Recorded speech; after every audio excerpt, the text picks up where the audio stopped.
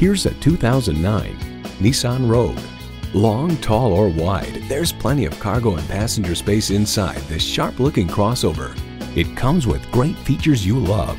Integrated navigation system, doors and push-button start proximity key, front heated bucket seats, auto-dimming rearview mirror, wireless phone connectivity, manual tilting steering column, inline four-cylinder engine, express open and close sliding and tilting sunroof, gas pressurized shocks, and power heated mirrors. Innovation, excitement, Nissan. See it for yourself when you take it for a test drive.